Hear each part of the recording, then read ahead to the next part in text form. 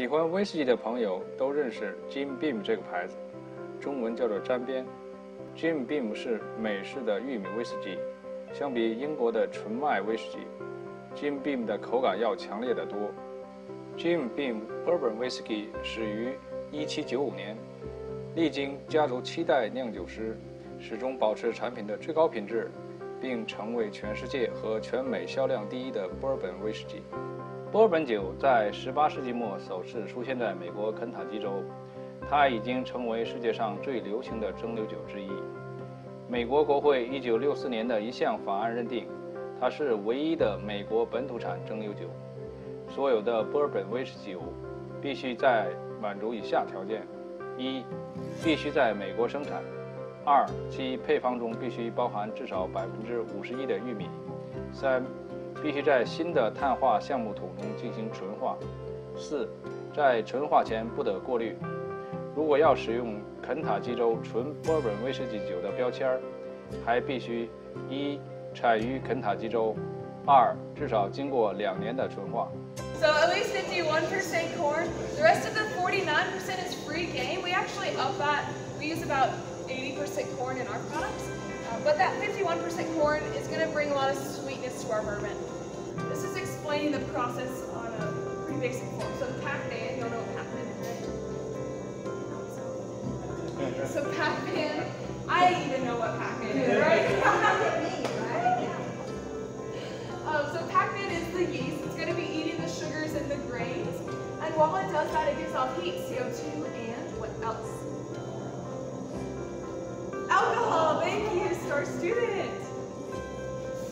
Not water. The answer is never water around here. Um, it's usually like alcohol or bourbon. Just remember that for later, okay? Like right here. There'll be a question later, you're going to know that. Alcohol or bourbon. Um, so by the third day, we get what we call a sour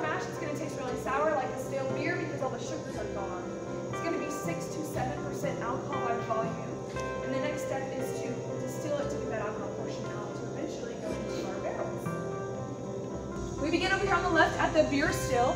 We pump the sour mash into the top. It'll fall down over copper plates. As it falls, we pump steam from the bottom. The steam's job is to evaporate our alcohol.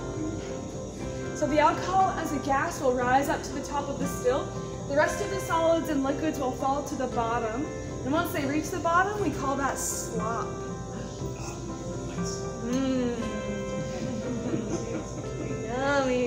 That slop we dry on site here, we sell it back to farmers.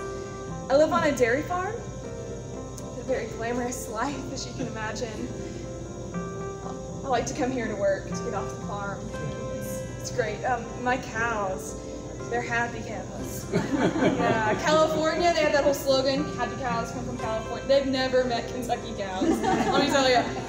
It's awesome. Um, our agriculture industry is unlike any other because of all this excess grain. You have to do something with it. So it's very unique, and, and I love talking about it, and I could talk all day about it. But you all came for the alcohol, which I also enjoy. So back to the alcohol. It's a gas. It rises up to the top.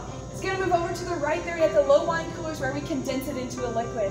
There's coils in there where we put cold water. So the gas will hit the cold pipes and condense into a liquid. Pretty simple. Uh, simple process. At that point, we call it a low wine, and it's going to be 125 proof. Yay, yay.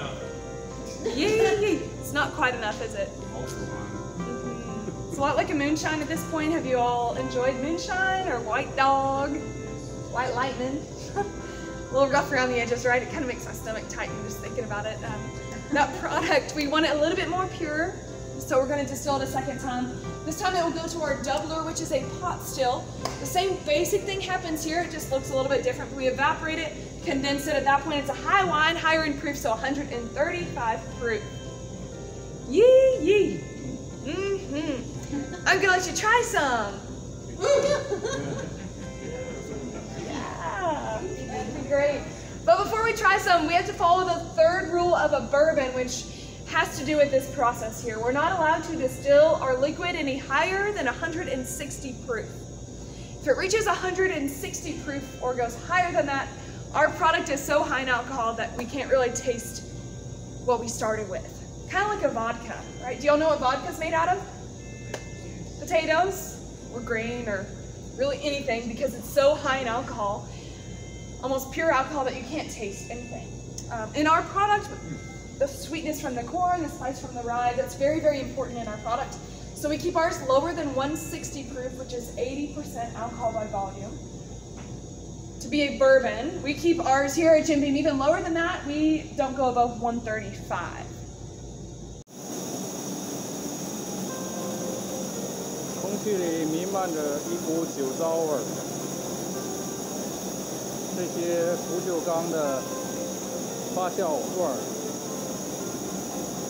在到这个车间了，噪音比较大。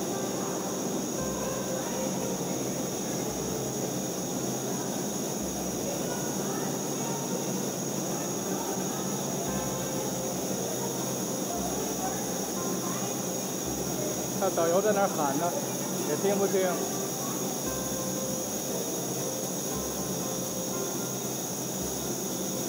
哦，有一个发酵罐的人孔，对，人孔是我们制造行业的压力容器制造行业里的一个专有名词，叫人孔，就是一个开口，然后人可以从那个进去。通常的人孔都是圆形的，但是它的它的人人孔是方形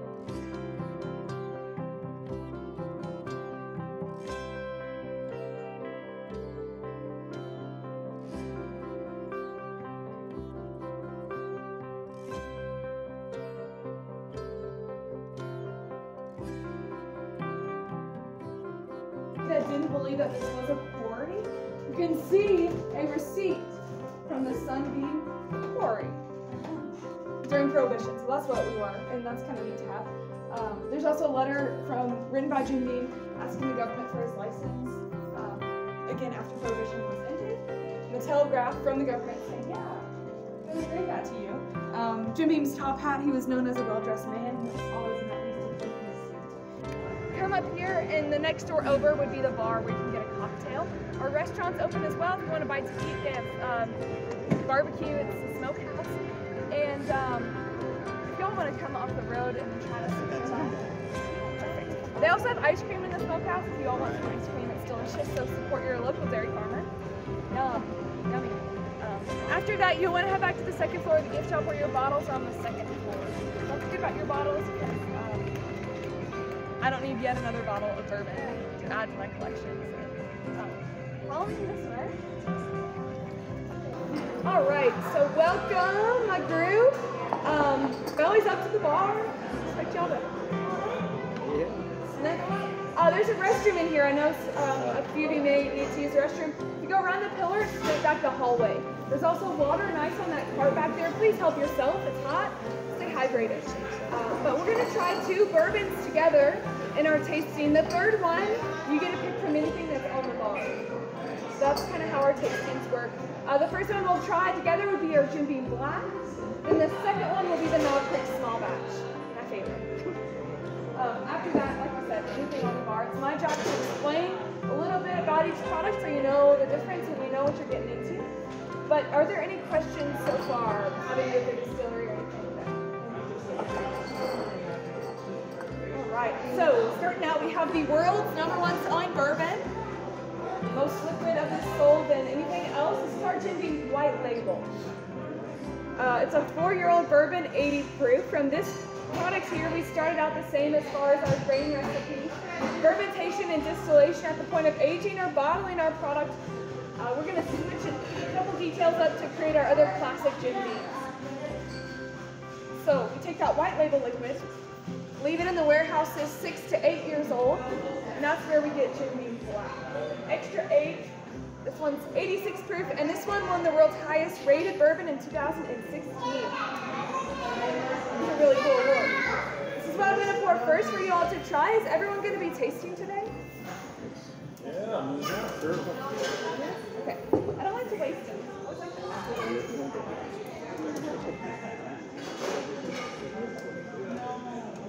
As y'all get this one in your hand, we're gonna try this in a three-step process.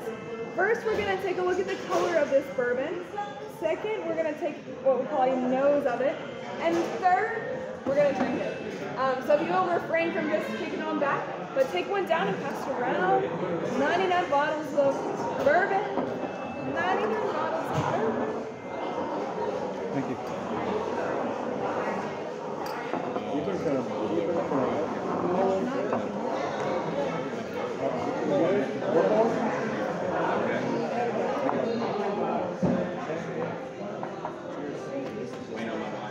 Oh, okay, I'm like. Is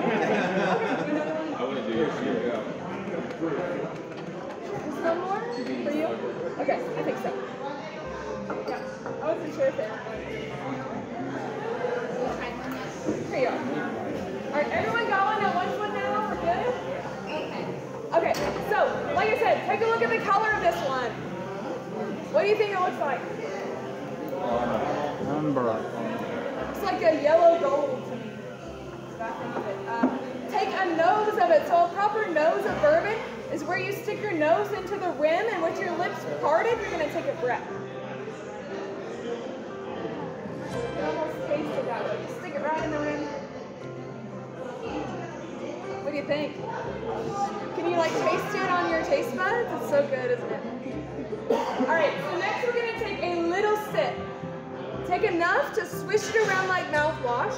You're gonna chew on it like this. We call it the Kentucky Chew. And it's really gonna burn. For those of you that aren't bourbon people, or maybe this is your first drink of the day, expect a big burn. But the point of the Kentucky Chew is that after you do that, every time you taste another product, you shouldn't feel a burn, you should taste more of the flavors. So trust me on this one, trust me. It's gonna burn though. Um, so cheers, try that Kentucky Chew. Cheers.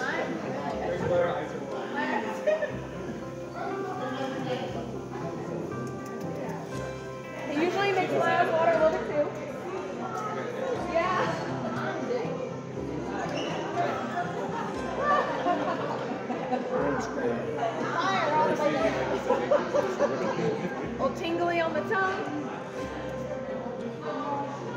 I'm gonna wait for mine to go away. Might take a minute or two.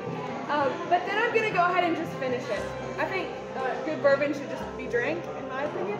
But if you need water or ice, help yourself on that card back there. Don't be afraid to add a little bit. Again, you should taste more of the flavors after that burn is over with. Yeah? You're starting to go. Here, I'm gonna finish it. Here I go. Cheers again. What do you all think about it?